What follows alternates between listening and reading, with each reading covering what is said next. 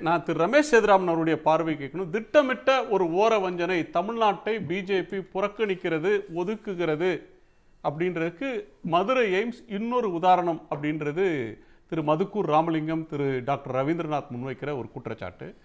இல்ல நான் அப்படி பார்க்கல. காரணம் என்னங்கிறது இன்னும் கொஞ்சம் தெளிவா சொல்றேன் இதுல சொல்லப்பட்ட விஷயங்கள் பாதி உண்மையை மறைத்து விட்டு மீறி உண்மையையும் மாற்றி சொல்வது என்பது தவறான விஷயம் அப்படின்னு நான் நினைக்கிறேன். அதுல வந்து ஐயா மதுக்கூர் ராமலிங்கம் அவர்களாக ஆகட்டும் இல்லைன்னா நம்ம டாக்டராக இருக்கட்டும் சோ இவங்க ரெண்டு பேரும் சொன்ன விஷயத்துல வந்து அவர்கள் தரப்புல இருந்து சொல்றாங்க. அத ஆனா அதுல கொஞ்சம் உண்மையையும் கூடுதலா சொன்னா நல்லா இருக்கும். அது மக்களுக்கு புரிதல் இருக்கும் அப்படின்னாங்க. முதல் விஷயம் ரெண்டு மாநிலங்கள்ல இப்ப இமாச்சல் பிரதேசுக்கா இருக்கட்டும் அதே மாதிரி தமிழ்நாட்டுக்கா இருக்கட்டும் எய்ம்ஸ பத்தி சொன்னாங்க. கரெக்ட் அப்புறம் ஃபண்டிங் அப்படின்னு சொல்லும்போது அதுவும் ரொம்ப தெளிவா சொன்னாங்க. ஜிகா அத வந்து கிட்டத்தட்ட எண்பது பர்சன்ட் தொண்ணூறு பர்சன்ட்டுக்கு வந்து ஜிகா கொடுக்க போறாங்க. பேலன்ஸ் வந்து தான் அரசுக்கு தரப்புல இருந்து கொடுக்கப்படுது. சோ ஏன்னா அதுக்கான கைட்லைன்ஸ் எல்லாம் இருக்கு. இது மே மாசம். நான் சொல்வது இந்த ஆண்டு மே மாசத்திலேயே இதுக்கான கேள்விய யார் எழுப்பியிருக்காங்கன்னா ஆஹ், யார் மினிஸ்டர் கிட்ட health minister central health minister யார் எழுப்பியது? எப்போ இந்த எய்ம்ஸ் முடியும்? மதுரை எய்ம்ஸ் முடியும்னு கேட்டது. கேள்வியை எழுப்பியவர் இவர்கள் கட்சியை சேர்ந்த கம்யூனிஸ்ட் கட்சியை சேர்ந்த சு. வெங்கடேசன் அவர்கள் தான் கேட்டிருக்காரு.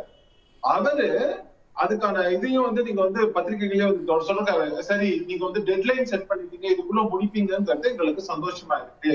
இதுக்கான ஒரு இது நல்ல இதுவா இருக்கும் நாடாளுமன்றத்துல ஒரு எம்பி இருந்து அந்த எம்பி எங்க ஊருக்கு அறிவிச்சீங்களே அடிக்கல் நாட்டுனீங்களே எப்ப சார் முடிப்பீங்க அப்படின்னு ஒரு கேள்வி கேட்டா அது எம்பியோட கடமை தானே? அதுதான் பிரச்சனை அதுதான். அதாவது அதாவது அதாவது எப்படின்னாக்க அவரே ஒரு ஸ்டேட்மெண்ட கொடுத்து எனக்கு ரெண்டாயிரத்தி இருபத்தி ஆறுல முடிப்பேன் டெட்லைன் நீங்க கொடுத்துருக்கீங்க சந்தோஷத்தை அப்படின்னு எல்லாம் மே மாசம் சொல்லிட்டு இந்த ஆர்டிகல் தெளிவா எல்லா பத்திரிகைகள்லயும் கவர் ஆயிருக்கு.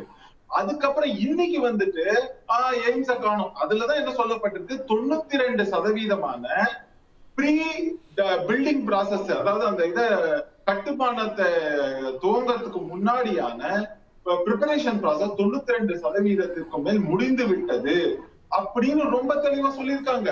அதைத்தான் வந்து இன்ஃபேக்ட் நட்டா சொன்னதாக நான் பாக்குறேன் ஒழிய இல்ல இல்ல நட்டா சொன்னது தெளிவா 95% five percent of work have been completed அப்படின்னு தான் அவர் சொன்னார். தொண்ணூத்தைந்து சதவீத. பணிகள் முடிந்து முடிந்து விட்டன. பிரயோகத்துல தெளிவாக கூறாதது தவறு அப்படின்னு வேணா கூட எடுத்துக்கலாம். ஆனால் அவர்கள் சொன்னது இதுதான். ரெண்டாயிரத்தி இருபத்தி ஆறுல முடிக்கலாம்னு சொல்றது இப்பயே தொண்ணூத்தஞ்சு பர்சன்ட் எப்படி முடிச்சிருக்க முடியும்? ரொம்ப தெளிவா மந்திரிகள் சொல்லியிருக்காங்க ஒண்ணு ரெண்டாவது முக்கியமான இல்ல விஷயம். சம காலத்துல ஐயா, இப்ப நீங்க வந்து ஒரு பகுதிக்கு மட்டும் வர்றீங்க. மதுரையை மட்டும் எடுத்துக்கிறீங்களே ஹிமாச்சல பிரதேசத்துக்கு இதே ரெண்டாயிரத்தி பதினஞ்சுல அறிவிக்கிறீங்க. ரெண்டாயிரத்தி பத்தொன்பதுல அடிக்கல் நாட்டுறீங்க. ரெண்டுக்கும் சமகாலத்துல அடிக்கல் நாட்டுறீங்க.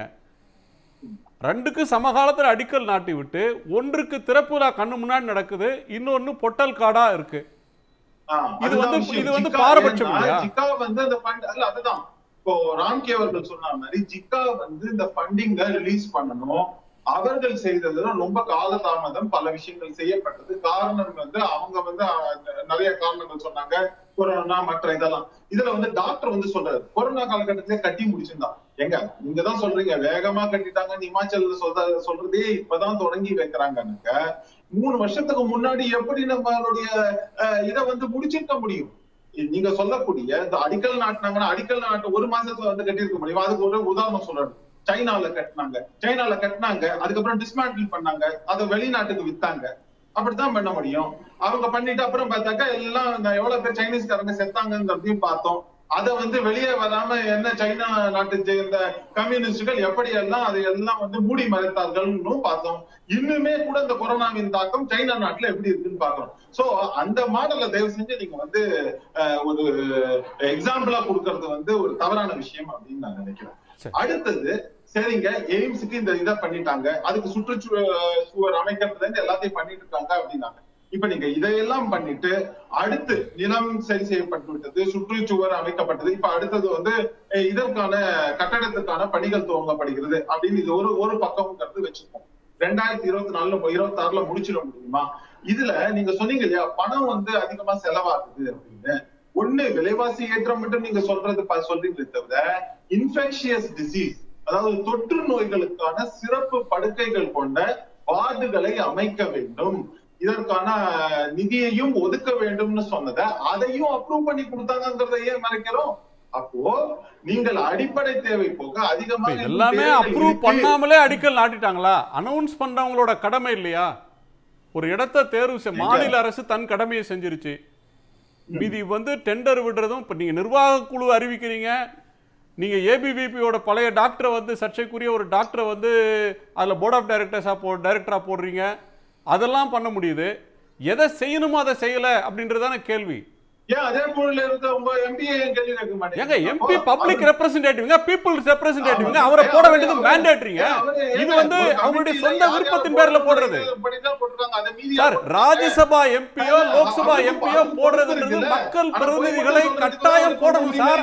அது வந்து மேண்டேட்டரி அது மேண்டேட்டரி இது வந்து விருப்பத்தின் பேரில். ஒருத்தருடைய விருப்பத்தின் பேரில் ஒருத்தரை போடுறது. அவருக்கு தகுதி இருக்கோ இல்லையோ? என் கட்சியை சேர்ந்தவரு என் சித்தாந்தத்தை சேர்ந்தவரு அப்படின்றதுக்காக போடுற ஒன்று.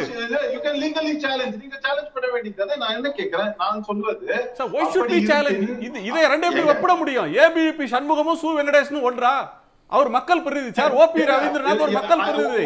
அவங்கள போடலன்னா தான் குற்றம். அதுல பலதரப்பட்ட மக்கள் இருப்பாங்க. நீங்க என்ன சொல்ல வரீங்க? இப்ப பாடநூல் திட்டத்துல இருந்து ஆரம்பிச்சு பல விஷயங்கள்ல வந்து திராவிட இயக்கத்திற்கும் தீகா இயக்கத்திற்கும் இல்லைன்னா கம்யூனிஸ்ட் இயக்கத்திற்கும் வேண்டியவர்கள் எல்லாம் அப்பாயின்ட் பண்ணிருக்காங்க அவங்கள அதே மாதிரி அந்த அப்பாயின்மெண்ட்ஸ் எல்லாம் கேள்வி கேட்க முடியும் ஏன் கேட்கலாம் அப்போ நீங்க கேட்கலாம்ல படிச்சவங்களும் ஒண்ணு இல்ல இவங்க எல்லாம் இந்த இயக்கத்தை சேர்ந்தவங்களும் இருக்கிறதுனால ஒண்ணா யாரும் தகுதி குறைவானவங்கள போடலங்க ஜான் ரீஸ போட்டிருக்காங்க அ- அமர்த்திய சென்னோட அவருக்கு ஈக்குவலான பொருளாதார மேதைகளை அரசாங்கத்தோட குழுவுல போட்டிருக்காங்க யாரும் அறகுறைகள் எல்லாம் யாரையும் போடல. நம்ம தொடர்ந்து பேசலாம். உடனுக்குடன் செய்திகளை தெரிந்து கொள்ள சன் நியூஸ் பெல் ஐக்கான கிளிக் பண்ணுங்க.